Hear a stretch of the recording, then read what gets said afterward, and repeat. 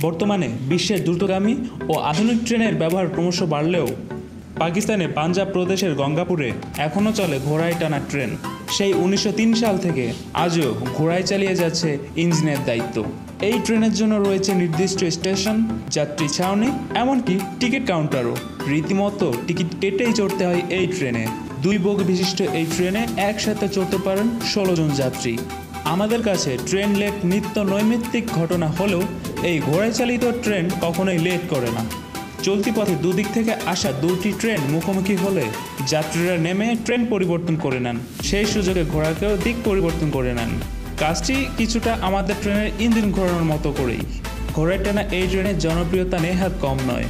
স্থানীয়দের পাশাপাশি এই ট্রেনে চড়তে দূর দূরান্ত থেকে বহু লোকের আগমন ঘটে পাঞ্জাবের গঙ্গাপুরে।